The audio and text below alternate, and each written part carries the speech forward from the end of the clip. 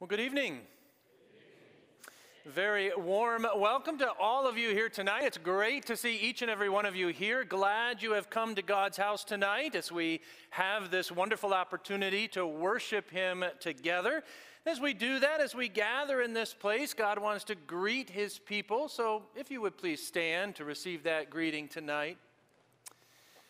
Well, congregation, God greets us this evening with these words Grace, mercy, and peace be to you from God our Father, our Lord and Savior Jesus Christ, in the fellowship and power of the Holy Spirit. And all God's people said, Amen. Well, we're going to sing together a couple of uh, well known songs, I think. To God be the glory, and we'll follow that up by singing, My God, how wonderful you are. Let's lift our voices in praise to God.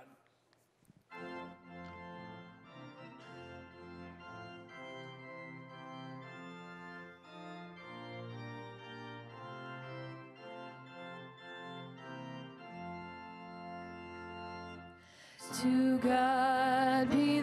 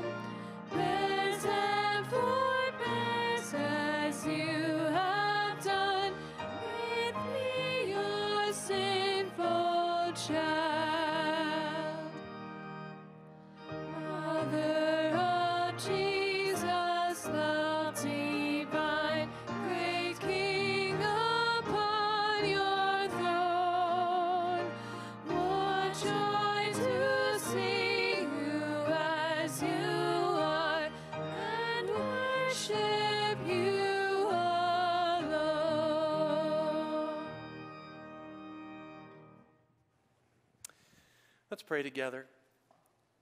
God, it does bring great joy into our hearts to worship you and to know that you and you alone are God, the only true God, Father, Son, and Holy Spirit. And to rejoice tonight as we gather in your presence, because here as we come, we are bathed in your grace.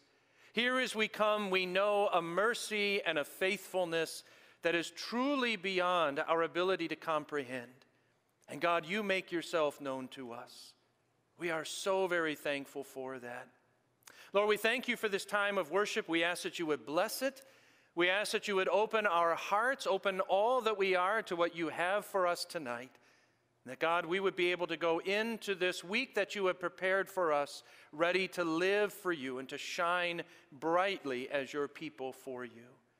In Jesus' name we pray. Amen.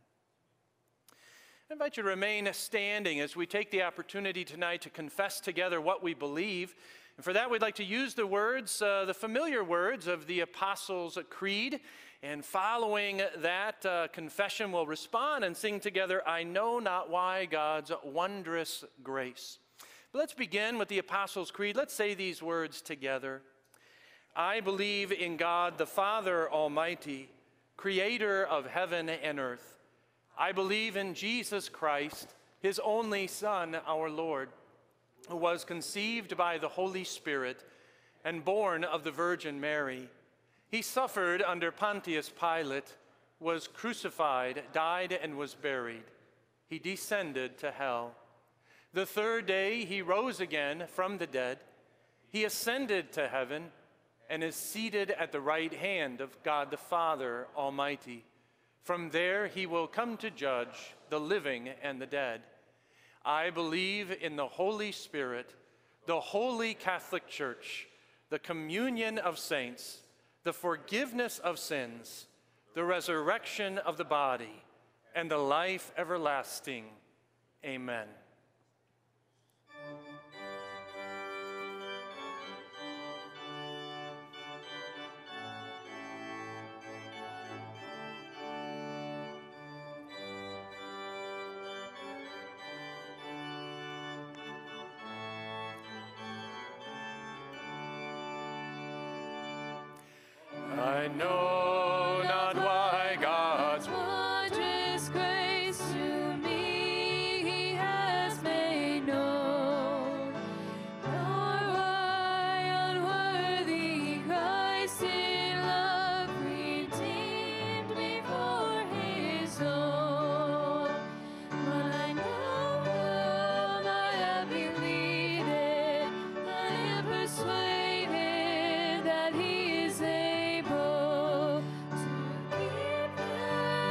That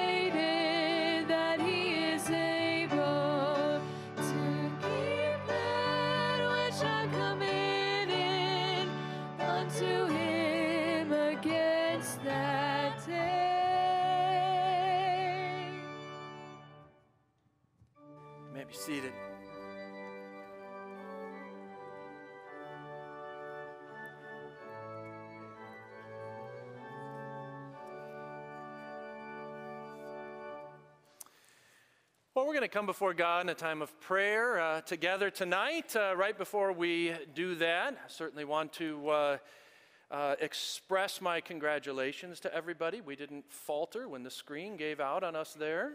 We did well. Means we know it by heart. We're not just depending on that screen, right? Uh, but as we uh, go to God with our praises and our requests, let's go to God in prayer together, shall we?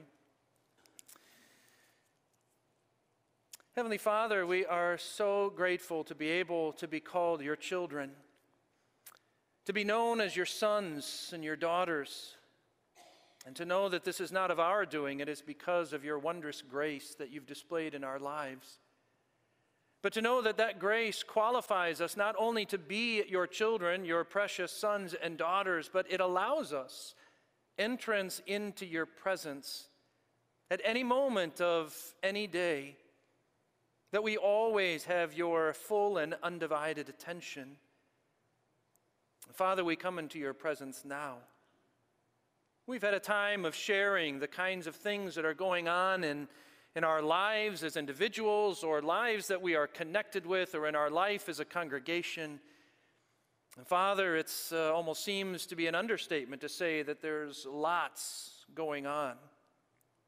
And Father, we know of, of many uh, who are hurting today in one way or the other. That some of them are, are dealing with cancer. We know about Bob Ritzma and Sherry too, as they deal with these renewed cancer concerns for Bob, and also uh, heart concerns too. Matt has shared with us about his mom, Cindy, that her cancer is back. For Janelle, cancer is back for her too. Father, these are difficult situations, and for each one, it's difficult news to hear. And, and we pray for them, and we pray that as now they are facing a new reality in life, God, we pray that you would lead them and that you would guide them. Father, we know you can do amazing things. We know that you could heal each and every one of these people if that was within the scope of your will. Father, at the same time, we understand that this, if, if this is not your will, that you will give a strength and you will give a great measure of grace to those who need it in special ways. Father, we pray too for, for Ralph, who's dealing with cancer in his body too, and as the doctors say, it is terminal. Father, we pray that you be with him, continue to protect him even as you did through a fall this past week. Father, be with him and with his wife as well as they, as they walk this road together. We think of others who have needs today, of Kim Gates, who's having back surgery on Thursday. We think of Sharon Lungyens and a pacemaker issue she's been having and eventually uh, going to need to be replaced. With Nancy Bartles and a broken wrist and upcoming surgery, with Len Melling and dealing with a broken back. And we think of June as he's starting new treatments this week, and we pray for those to be effective. And for Tom's wife, Yolanda, as she is continuing to recover. But Father, we're very grateful for the miracle you've done in her life. Continue to bless her, we pray, with health and strength. With Jim, with epilepsy issues, as he's been dealing with these and the doctors are trying to discern exactly uh, how to help. Father, for Steve too, and a heart condition, and uh, we pray, Lord, that as that surgery looms, that uh, you would grant your healing uh, for Steve too. For Maurice's family, we continue to pray and, and the various uh, concerns and challenges that are there. And Father, we know that even this is not an exhaustive list of things that, that are of concern to us, either individually or as a church family. And we pray, Father, that you, as you know us better than we know ourselves, that you would seek to answer every single need we have on, in the way that only you can. Father, too, on a, a general uh, way, we pray for our farmers around the area as they would seek to bring in their, their crop and just pray for drier weather, perhaps uh, slightly warmer too, uh, to help them out that they may be able to do what they, they need to do. And Father, through all of this, in terms of all of this that we raised to you, we, we do that again, recognizing that you are such a faithful God, that you never leave us and that you never forsake us. And, and Father, to know that it's not only those concerns that we can bring to you, but the joys in our hearts as well. And Father, certainly we have those. And we are so grateful for little Hadley, for Jeremy and Kaylee as they've welcomed this new little one into their family. We just pray that you continue to bless Hadley with strength and, and with health, and Father, for the family together uh, to just uh, enjoy each other. We thank you too for a, a good ministry trip that Tom has experienced. Thankful that his meetings went well, both with the Muslim community and the Catholic community too. And Father, we do pray in a very special way for Tom and Leslie together and their work with, with the persecuted church and persecuted believers. And Father, even as we spent a, a moment this morning reflecting on that, uh, help us to bring that uh, to mind from time to time. And when we think of it, when the challenges uh, of the challenges that our brothers and sisters in Christ face throughout this world, that we would be le- led to pray for them as well. And Father, knowing that you would hear and answer those prayers. Father, we're thankful too for uh, another day of worship that you have granted us. For this Sabbath day, this one in seven that you have set aside as different. That we can pause from the daily activities and daily concerns of life. We can gather with your people. We can lift up our praises to you. We can exalt you. Father, worship as you desire and certainly as you deserve. So we are so thankful for that. Father, we ask that you be with us in uh, the rest of our service tonight as we again look into your word and consider what our Heidelberg Catechism teaches us as well. Lord, you would open our minds and our hearts to that too. But most of all, Father, we are grateful. Grateful for your grace, grateful for your love, grateful for your mercy and your faithfulness. And it's in that gratitude, Father, that we, we close our prayer and in that gratitude that we want to live our lives. In Jesus' name, amen. So this time we have the opportunity to give of our gifts. The offering for tonight is for the Holland and Zeeland Christian schools, and may we give as God leads us to do that this evening.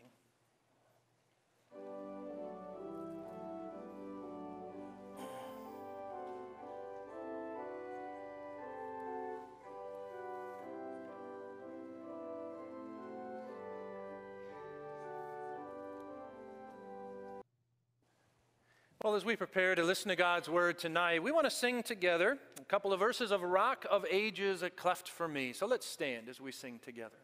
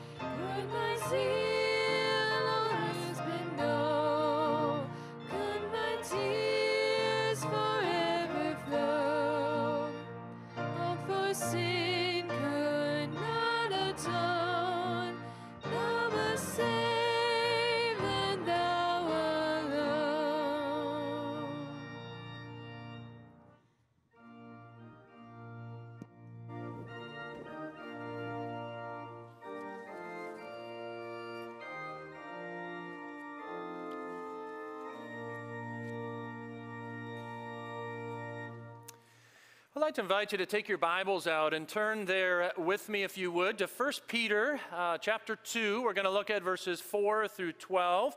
Uh, specifically tonight, as we continue in a, a study, an overview study of the Heidelberg Catechism. Uh, that study entitled Questions Worth Answering. And tonight we're gonna we're gonna think about good works. So that's uh, that's really the context of where this scripture is going to help us out. We're also going to be looking at Lord's Days 32 and 33. So if you have a free hand or if you have a, an open spot on the bench next to you, you can haul out your Psalter hymnal as well. Turn in the back there to page 901 and you're going to find there Lord's Day 32, and just flip the page, and you'll find Lord's Day 33. Much of those Lord's Days are going to be on the screen behind me as well, but if you want to see the, the full extent of them, uh, they're right there, beginning on page 901. First Peter, our text there, is on page 1204 in your Pew Bibles. And uh, tonight, as we get into this, just a, a note that we are now entering into officially uh, the third main section of the Heidelberg Catechism. Uh, we, of course, I'm sure, remember that breakdown of the three main sections sin, salvation, and service, or guilt, grace, and gratitude. So we are heading into that third section, that, ser- uh, that service section or that gratitude section. So that just locates us a little bit uh, in the catechism. So looking at 1 Peter uh, chapter 2, verses 4 through 12, here Peter writes, as carried along by the Holy Spirit As you come to him, a living stone rejected by men, but in the sight of God, chosen and precious, you yourselves, like living stones, are being built up as a spiritual house to be a holy priesthood, to offer spiritual sacrifices acceptable to God through Jesus Christ. For it stands in Scripture, Behold, I am laying in Zion a stone, a cornerstone, chosen and precious, and whoever believes in him will not be put to shame. So the honor is for you who believe. But for those who do not believe, the stone that the builders rejected has become the cornerstone, and a stone of stumbling and a rock of offense. They stumble because they disobey the word as they were destined to do. But you are a chosen race, a royal priesthood a holy nation, a people for his own possession, that you may proclaim the excellencies of him who called you out of darkness into his marvelous light. Once you were not a people, but now you are God's people. Once you had not received mercy, but now you have received mercy. Beloved, I urge you as sojourners and exiles to abstain from the passions of the flesh which wage war against your soul. Keep your conduct among the Gentiles honorable, so that when they speak against you as evildoers, they may see your good deeds and glorify God on the day of his visitation. So as far as we want to read in God's word tonight, and may he bless his word to us this evening. Well, congregation, back on October 20, I realize that's almost a month ago now, but way back on October 20, we took a look at Lord's Days 23 and 24, and we took up the topic of faith alone. And maybe, perhaps, uh, you remember some of that, but in the midst of that study, we were presented with this biblical teaching that sinners are made right solely and exclusively on the basis of God's grace and faith in Jesus Christ, that this is the only way of salvation, right? Even as we've, we've touched on that in song, in the various songs that we've even sung tonight, that this is the only way of salvation, right? Paul made that abundantly clear for us in Ephesians chapter 2, verses 8 and 9, for it's by grace you've been saved through faith. This is not of your own doing, it's a gift of God. It's not as a result of works, so that no one can boast. So the Bible is very clear, even as the Catechism is, that there is nothing we can do to earn our salvation. There's nothing we can do. Try as hard as we might there's nothing we can do to, to have God say, Oh, I think I'm just going to forgive him because he is such a great person. There's nothing we can do. Nothing we can do to earn that forgiveness. Nothing we can do to earn that everlasting life. Uh, scripture teaches us, the Catechism reminds us question and answer 62. A little bit of ways ago, ago that we looked at it. Even the very best we do in life is imperfect and it's stained with sin. So, bottom line is, we said salvation is a matter of faith alone and not a matter of faith and. Now, as clear as that is, nevertheless, it does seem to stir up quite a big hornet's nest when it comes to the, the place of good works in the life of a believer, the place that good works have in our lives as believers. Because after all, if good works do absolutely nothing to help or gain or have us somehow earn salvation, then the question inevitably comes up well, why do them? Why do good works at all? What's the point? Right? The conclusion of Lord's Day 24, way back when we looked at it, even echoes that statement that sentiment, and this is what it says. Well, doesn't this teaching, this teaching of salvation by faith alone, doesn't this teaching make people indifferent and wicked? So again, it's basically asking, what's the point? Why do good works? Well, in that respect, there are three things that we want to recognize tonight. Beginning with the fact that good works are natural in the life of a believer. Right? Even as the closing words of Lord's Day 24 tell us, it is impossible for those grafted into Christ by true faith not to produce works of gratitude. And then, following up on that, as the opening words of Lord's Day 32 declare, in response to the question, why then must we still do good? says, we do good because Christ, by his Spirit, is renewing us to be like himself so that so that in all our living we may show that we are thankful to God for all that he's done for us. In other words, even as water just kind of naturally flows downhill, our good works flow out of gratitude to God. I mean, just think about it. Think of all the amazing things that God has done for us. Again, we, we sang about some of those things. I know not why, God's wondrous grace. You know, to God be the glory. The vilest offender who truly believes has salvation, right? All of this by God. He has done this for us. He's given us salvation. Peter, in our text for tonight, says, hey, this is what this is what God has done for you. Once you weren't a people, now you're a people. Once you were in darkness, now you're in light says, God in Christ, He has made you to be a chosen race, a royal priesthood, a holy nation, a people for His own possession. So, the fundamental reason why we do good works is to express our gratitude to God. Our good works are the natural response to God's grace. Pastor Lou Vandermeer, who is the video teacher in my 11th and 12th grade catechism class, and a few of them are chuckling already back there, has a little illustration of this that I want to share with you. Now, for those who are in my 11th and 12th grade catechism class, you haven't heard this yet. It's coming, so just kind of tuck it away.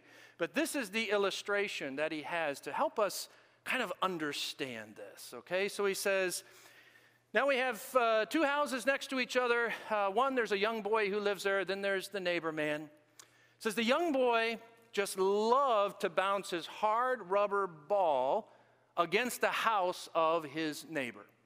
Just bounce his ball over and over. And for the most part, the neighbor man didn't care about that. That was fine, but the neighbor man did warn the young boy to be careful of the big plate glass window that was right close to where the boy liked to bounce his ball. Well, one day, you can guess where this is going, right? The boy bounces that hard rubber ball, goes right through that plate glass, plate glass window. So the neighbor man comes running out. He sees the shattered window. He's all up in arms. He's yelling at the boy. About that time, the neighbor man's son comes out of the house.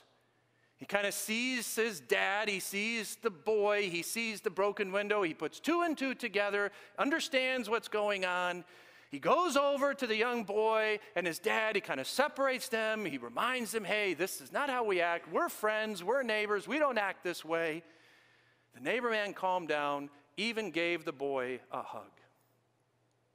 Well, at that point, the boy turns around to leave, thinking that everything's okay, everything's back to normal. But as the boy's walking away, the neighbor man calls out and says, Hey, what about the window? I, have forgiven you, but you've got to pay for the window. And the boy didn't know what to do with that. He said, I, I don't have any money. I can't possibly pay for this big, expensive window. My parents can't possibly pay for that. I, I can't do it. And the neighbor man says, Well, then you're going to have to work in my garden day after day until you have paid the price of that window. And hearing that, the young boy's face just dropped because he knew a, a, window like that would take a lifetime to try and pay off, probably even more than a lifetime. Now, the neighbor man's son comes on the scene again and he reaches into his pocket and he pulls out this big wad of money. He says, Dad, I've got some money. I'd like to pay for that window on behalf of this young boy. And the father says, okay. And things go back to normal between the neighbor man and the young boy, except that the young boy now starts to work in the garden. And he weeds and he makes the garden look nice. And at the time when the tomatoes are ready, he picks them and he brings them into his neighbor. Not because he has to, but because he wants to. Because he wants to express just how grateful he truly is. Now, I'll be the first to admit that that's not a perfect illustration. I understand that. But I think it does get the point across. You see, salvation is totally a matter of grace through faith in Jesus Christ, completely and absolutely. It is only by grace through faith. But the fact of the matter is, once we have experienced that salvation, we want to respond. We want to do good. So, Kevin DeYoung puts it this way in his commentary on the Catechism. He says, We do good because the wonder of our salvation produces such thankfulness in our hearts that it is our pleasure to serve God. So that's number one. That's the first thing that we want to understand. It is a very basic, very fundamental thing to know that good works are natural in our lives as believers. But as the Catechism goes on to point out to us, good works are also necessary in our lives as believers. In other words, even though good works are the fruit of gratitude, that they flow out of thankfulness, nevertheless, at the same time, they have to be there. Those good works are necessary, as Lord's Day 32 says. They assure us of our faith. And as Lord's Day 33 then goes on to teach us, these good works prove that our conversion is genuine. That's the word that the Catechism uses genuine. Prove that our conversion is genuine, that more and more our old self is dying away, that more and more the new self is coming to life, that more and more we are cultivating a hatred for sin, and that more and more we are delighting to do every kind of good as God wants us to. Now, along these lines, the New Testament letter of James is often referred to, and many of you likely know that James, in general, is very heavy into the, the good works aspect. So much so that the great reformer Martin Luther, he even wondered, he kind of questioned, should James even really be in the Bible? Should it be included in the canon? Because it seems at points to teach that salvation is a matter of faith and works. But that's really not at all what James is saying. Instead, James is simply pointing out the necessity of good works in the life of a believer. So, listen, for example, what James says in the midst of chapter 2. He says, What good is it, my brothers, if someone says he has faith but does not have works? Can that faith save him?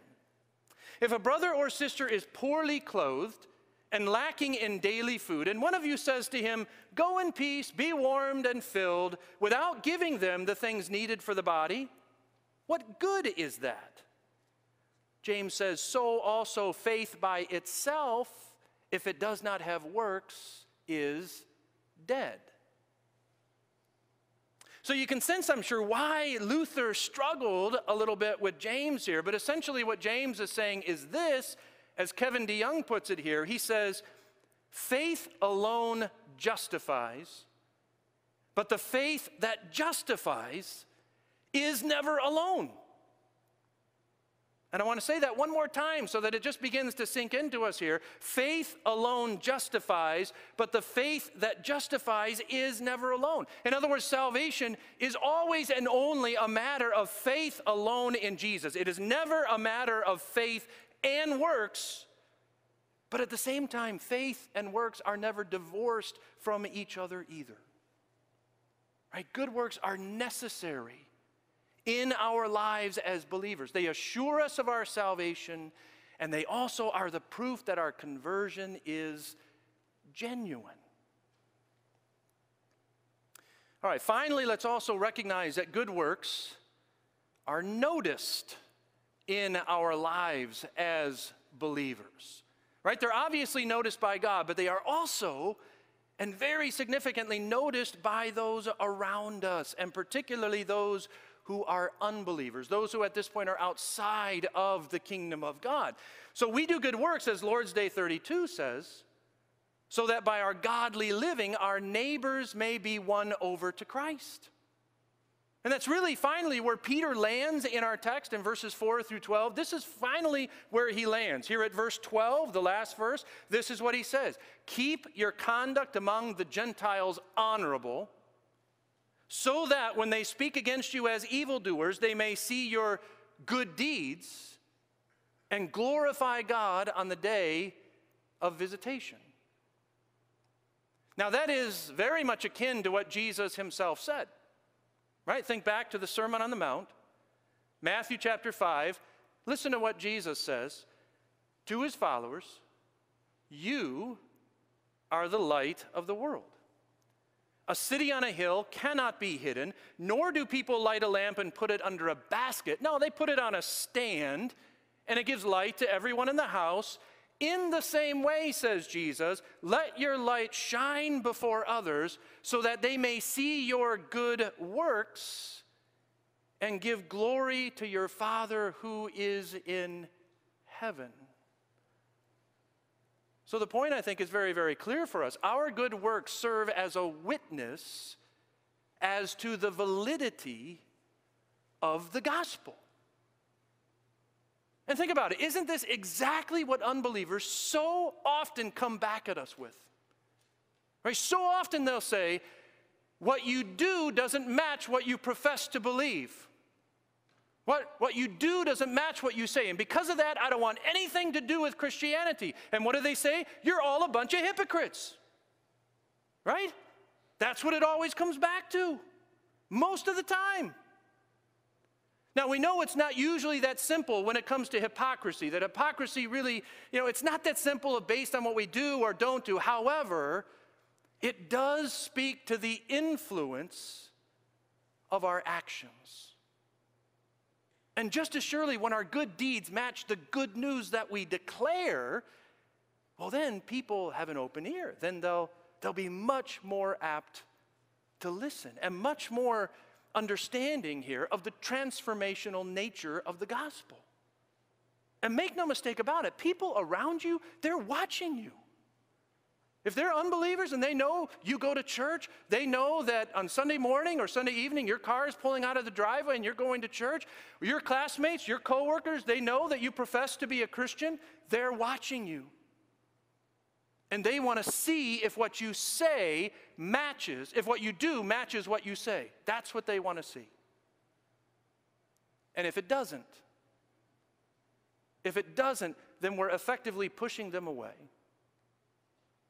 But when it does, well, again, then they're much more apt to listen to what we have to say because they can see that it actually makes a difference in our lives.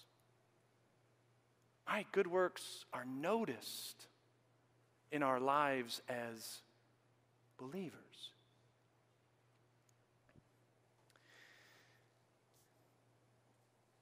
You know, I mentioned it at the outset, but just to re emphasize it for us, we, we are now into that third and final main section of the Heidelberg Catechism, that section on service or, or gratitude. And what we've talked about tonight, it is absolutely foundational to understand. It's absolutely important. Why do good works? That it really all comes back to gratitude. Right? It's about our response of thankfulness to the grace that God has shown to us in Jesus. It's our natural response. But to understand as well that it's, these good works are also necessary in our lives as believers. And they're noticed, right? They're noticed. And they can afford us wonderful opportunities to declare the gospel. And in that, I think it's probably healthy for each and every one of us to really consider our own lives and to ask ourselves what could potentially be some hard questions. Why do I live the way that I live? Why do I do the things that I do? Why do I seek to do good works? Right? Why do I volunteer at church? Why do I teach Sunday school? Why do I come out for the Wednesday activities and help put dinner together? Why would I come out on Saturday morning uh, to bring basket stuff over to, to Bravo? Why would I do that? Why do I do good works? I, am I trying in some way to earn my salvation? Am I trying in some way to, to pay God back for what He's given to me? Or do I just want to say thank you? Do I want to do it because it is my pleasure to serve the God who has given his grace in my life and saved me in such an astounding way? Do I want to make sure that, that I'm assured of my salvation, that I, that I prove the genuineness of my conversion?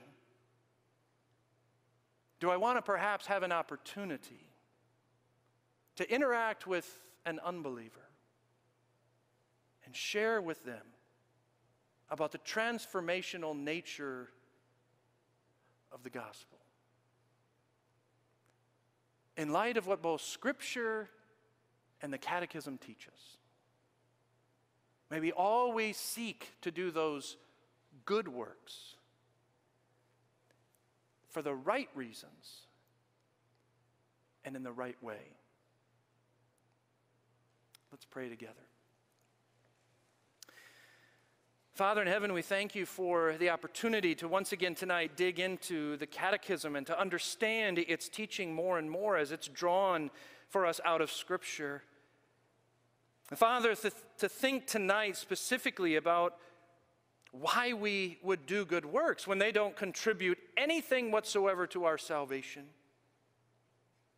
But to be reminded that good works are important in our lives as believers they should be the natural uh, outpouring of gratitude for the grace that we have received, but to understand too that they're, they're necessary in our lives and that they are noticed in our lives too.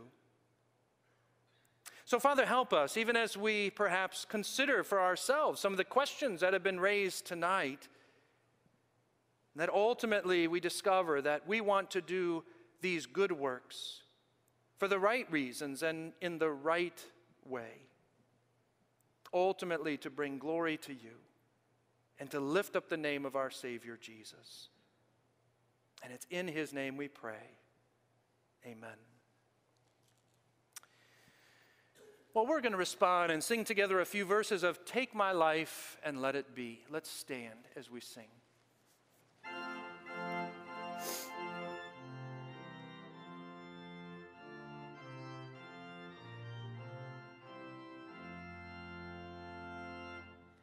Take my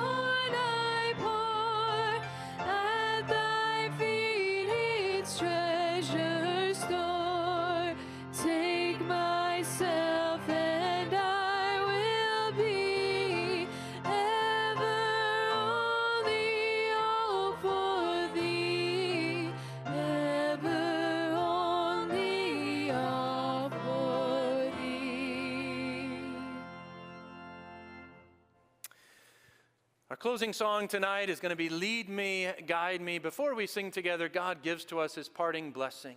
Receive that blessing now. May the love of God the Father and the grace of Jesus Christ the Son, the fellowship and power of the Holy Spirit be with you all now and forevermore. Amen.